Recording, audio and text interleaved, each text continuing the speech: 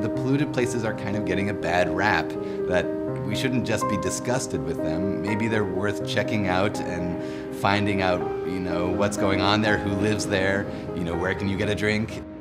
Andrew Blackwell set out on a quest to learn more about these polluted places and wrote a book recounting his travels.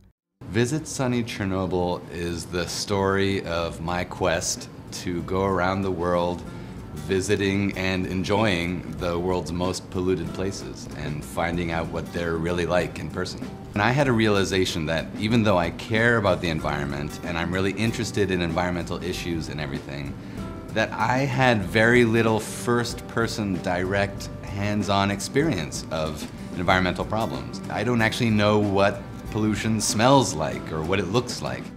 The first place I went was Chernobyl because it's notorious and if you're interested in nuclear pollution or radioactive pollution, uh, it's the go-to place. And it was an absolutely fascinating place because even though it's incredibly compromised um, and ruined, you might say, almost because of that and because of the quarantine zone that's there, uh, everyone stays away, and so it's really gone back to wilderness and back to nature. So you have a place that's, on the one hand, one of the most, certainly one of the most polluted places in the world, certainly of its kind. On the other hand, it's one of the largest and best wildlife preserves in Europe. And so that kind of um, paradox I found really intriguing. Blackwell's journeys took him not only to far-flung lands, but also to the open ocean. The voyage to the Great Pacific Garbage Patch was really an incredible adventure. There's this misconception, a very powerful misconception, that it's a plastic island. And it's not. It's not even a, a thick carpet of trash. It's just an area where there's a much higher concentration of plastic and of plastic particles that, than you would expect.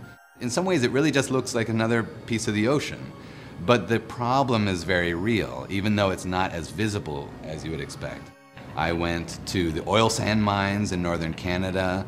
I went to the Amazon rainforest to see uh, deforestation in action. Um, I went to a couple places in China, a couple places in India. The world is really, um, for better or for worse, it's full of destinations once you start thinking as a pollution tourist. On the one hand, I'm kind of pessimistic about humanity's chances of you know, changing course radically and not transforming uh, the planet the way that we are.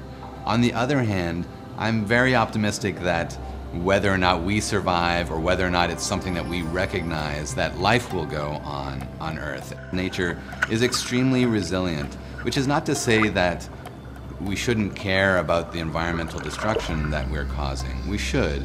Humanity is definitely part of nature, even when it's ugly.